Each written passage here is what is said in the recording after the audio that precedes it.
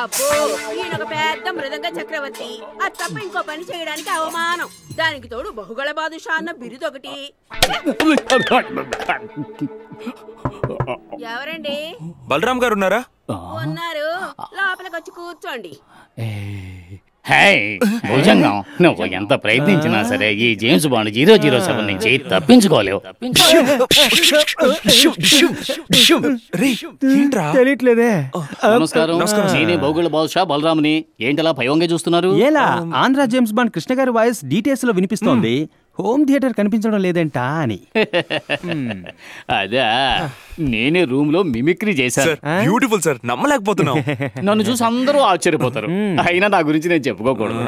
ఇక్కడ ఇద్దరం తప్ప ఇంకెవరూ లేరు. పర్లేదు మీరే చెప్పండి. చిరంజీవి డబ్బింగ్ చెప్పేటప్పుడు గొంతు పోతే ఎందుకు సొంటి కాఫీ ఇవ్వడానికి? ఏయ్, నా గొంతుకి వంక పెడితే నీ గొంతు చీరేస్తా? ఈ వాయిస్ డిఫరెంట్గా ఉంది ఇదెవరి వాయిస్ ఇది నా వాయిస్ అయ్యా నా వాయిస్ నువ్వు ఉండరా? సార్ మీ గొంతుతో విడిపోయిన రెండు కుటుంబాలని కలపాలి సార్. సరే యాక్టర్ వాయిస్ అయితే ఈజీగా పెట్టేస్తాను. ఇదేమో కొత్త వాయిస్ అంటున్నారు.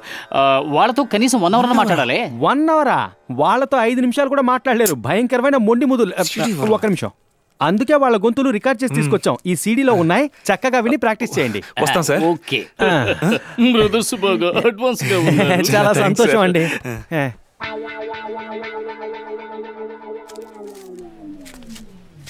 బ్రదర్స్ ఇద్దరు.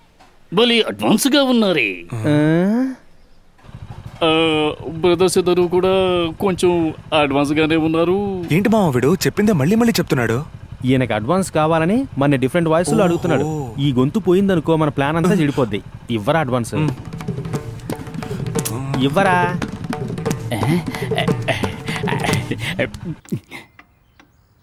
ఇలా చూడు ఇదే నీకు ఆఖరిసారిగా చెప్తున్నారు ఇంకోసారి జయప్రకాష్ గురించి తప్పుగా మాట్లాడావు?